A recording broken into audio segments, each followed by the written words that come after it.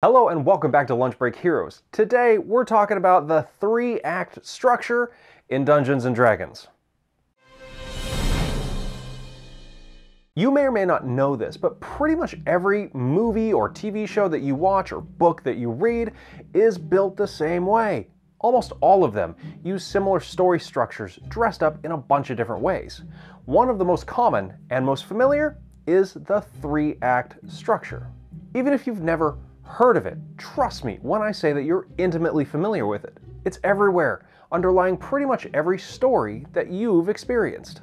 Aristotle brought the three act structure to people's attention in his work Poetics, published in 335 BC. He defined a whole story as that which has a beginning, a middle, and an end. He was a lot wordier than that, but that's what it boiled down to. Beginning, middle, end. Three parts to a story. It seems obvious, and that's because we've all grown up around the idea. But not a whole lot of people know exactly how those pieces go together and why. So, how are stories constructed in this way, and how can you apply it to your Dungeons and Dragons game? Before we get into that, though, I want to flesh out what an act is, or rather, what it isn't. Folks who are new to storytelling and the 3 act structure might think that certain things must happen within an act. And if those things don't happen, then the act isn't right. It isn't complete. I must introduce the protagonist in Act 1. There must be a conflict in Act 2. There must be a resolution in Act 3. Now, these things are true most of the time, but accepting them as gospel can blind you to what acts really are. I'm going to steal a page from the Angry GM and paraphrase his analogy because I really liked it. An act is like a room in your house or your apartment. Take a look at the room around you. What do you see? There's stuff inside the room, most likely a couch or bed, maybe a TV. You, for certain. But what if I told you that your room didn't exist? That it isn't a thing? Kind of a weird thought, right? When the construction workers built your house or apartment, they didn't build a room. A room isn't a thing that you can put together. What they did is they put up the walls, laid down the floor, and put the ceiling over top. And by doing so, the room came into being. Take away the walls, the ceiling, and the floor, those transitions between the inside and the outside, and the room ceases to exist. A room is a space defined by its transitions, and so is the act of a story. An act of a story isn't created by what it contains any more than your room is created by what it contains.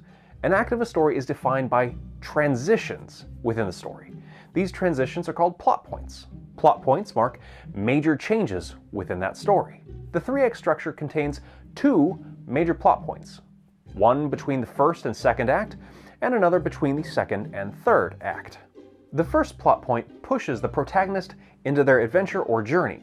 It's a turning point in the story where the characters leave behind the status quo and their lives are forever changed. This is when Luke Skywalker discovers his aunt and uncle have been killed by the Empire, and he decides to go become a Jedi Knight. Everything before that plot point was Act 1. What follows is Act 2, where we see most of the story unfold.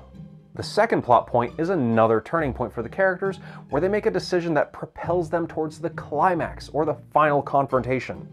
Prior to this moment, they could walk away, but they're choosing to act. And by choosing to act, their lives are once again altered. This is when Luke Skywalker decides to join the Rebel Alliance and fly an X Wing against the Death Star.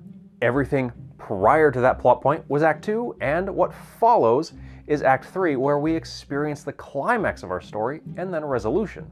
There's other smaller plot points that go in between these two which help keep the story moving and interesting, but these two are the major ones that break up the three act structure. Before I go into a lot of detail about how you can employ the 3 act structure in D&D, if you want to see it on full display, check out the latest original one-shot from Lunch Break Heroes, Feast of the Damned. This adventure finds your party invited to be the guests of a local noble family whose intentions aren't so noble. Do you have your wits about you? Can you survive the night? Are you predator or prey? Fight your way through hedge mazes, libraries, underground tunnels, and more, all in a bid to break the curse that holds the Sinclair family in its sway. Get it over on Patreon for as little as a dollar or over at lunchbreakheroes.com where it's on sale today only. All right, now that I've blathered on about what an act of a story is, let's see how you can use plot points to create three acts and add a really satisfying feel to your campaign. At its most basic, your first major plot point is going to be the one that sets your party on their adventure. This could be accepting a job to go adventuring in the local dungeon, or deciding to follow up on that poster of a missing person, or whatever contrived reason you have for going on an adventure.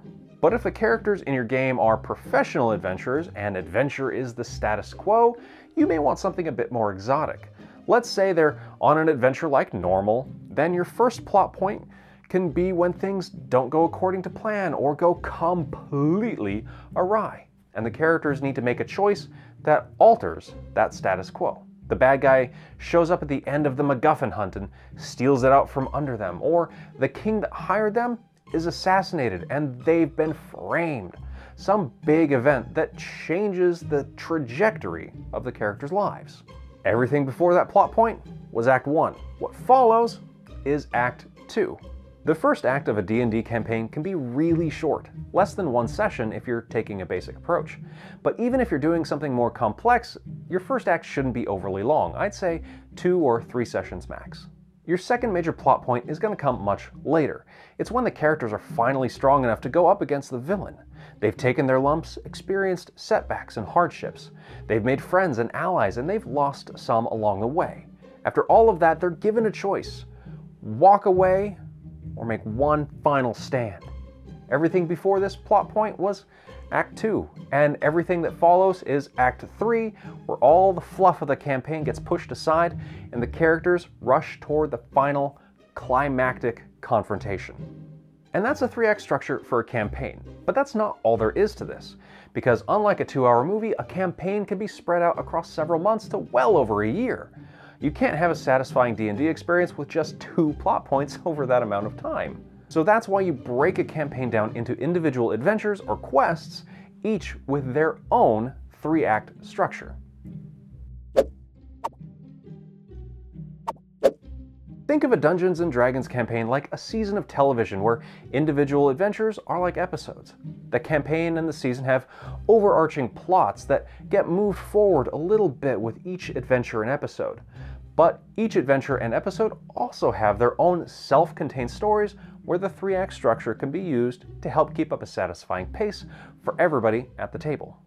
Let's take a look at a fictional campaign for a moment. The overarching story here is that the villain has stolen the MacGuffin of power and the characters have to get it back. Plot point 1 was where the theft of the MacGuffin occurred while the adventurers were trying to find it.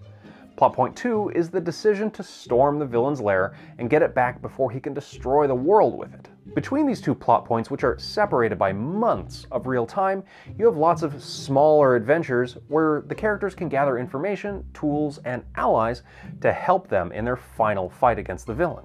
Now let's look at one of those small adventures and see how the 3-act structure comes into play. The characters hear of a washed up ex adventurer who used to work for the villain and might know some secrets. They go looking for her and come upon her village only to find that it's been ransacked by bandits. After searching, they figure out that she went off to get revenge on the bandits. Plot point one is the characters choosing to follow her trail. While following the ex-adventurer's trail, they come to find that she's been overpowered and captured by the bandits. So the characters need to regroup and figure out how to attack the bandits and free the ex-adventurer. Plot point 2 is where they've finished their preparations and decide to put their plan into action, resulting in a battle between them and the bandits. Act 1 was our introduction to the goal of finding the ex-adventurer and the introduction to the town and the discovery of the problem that she's missing. Act 2 was the discovery of even more problems. The ex-adventurer is being held captive, and the bandits are probably pretty dangerous. We also have a group activity of planning an attack. Act 3 comes after the decision to attack. It's the actual conflict with the bandits, leading to the resolution where the ex-adventurer is rescued from captivity and gives the characters the information that they need. Lots of small adventures like this one, which each contribute to pushing the overarching plot forward, can really make for a fun and engaging campaign with a familiar feel thanks to the three-act structure.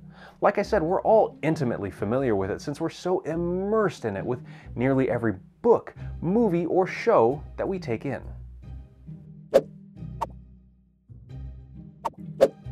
While something like the three act structure can help make for engaging and memorable campaigns, always remember to be flexible. You aren't planning a set story here like you would with a movie or a novel. RPGs are collaborative storytelling exercises, and the input of the players may very well set your grand plans on an entirely different tangent than you initially thought. So you need to stay on your toes about what plot points you can introduce and when. But you're a dungeon master, and improvisation is just kind of what we do, isn't it? Now, because you stayed to the end of this video, be sure to use the coupon code FEAST during checkout for half off Feast of the Damned at lunchbreakheroes.com, and don't forget to subscribe.